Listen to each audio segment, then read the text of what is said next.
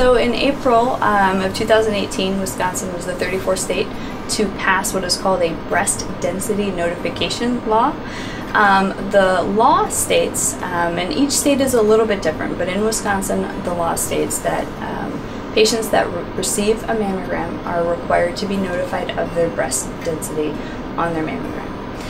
Patients get letters in the mail with results from their mammogram, and on those letters, uh, in addition to the results, they are given their breast density. So patients are categorized as either having not dense breast tissue or dense breast tissue. If you have dense breast tissue, your letter will also include information that says your breast tissue is dense on your mammogram.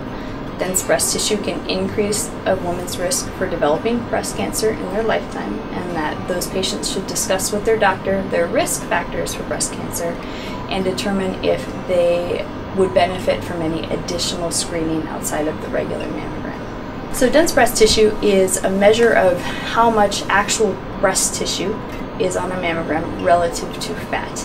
Fat on a mammogram is a gray or black color. Dense or breast tissue is actually a white color, and that's the milk ducts and the other supporting structures in the breast that make up the actual breast itself. But unfortunately, things that we're looking for on a mammogram other than breast tissue, like breast cancers, are also white.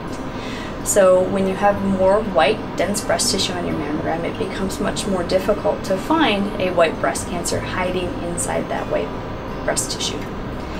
As the breast tissue density increases, the less good your mammogram is, is at finding a breast cancer hiding in there. So in addition to having a mammogram that is not as good at finding breast cancer, women with dense breast tissue also have an increased risk for developing breast cancer in their lifetime.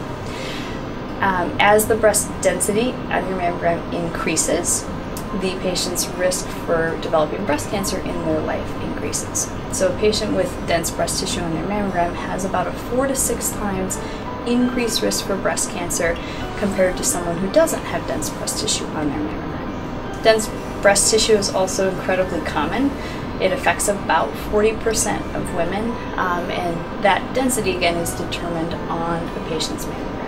Patients with dense breast tissue are recommended to have a mammogram every year, and in particular a 3D mammogram if they are able. Um, we know that the 3D mammogram is beneficial in all patients, finds more breast cancers in all patients, but in particular finds even more breast cancers in patients with that dense breast tissue.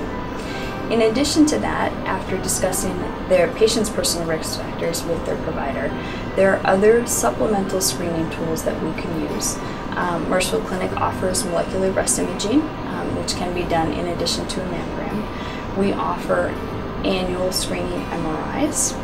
And there are some places across the country that do screening breast ultrasound. That is not something we are currently doing at Marshfield Clinic, but might be doing in the future.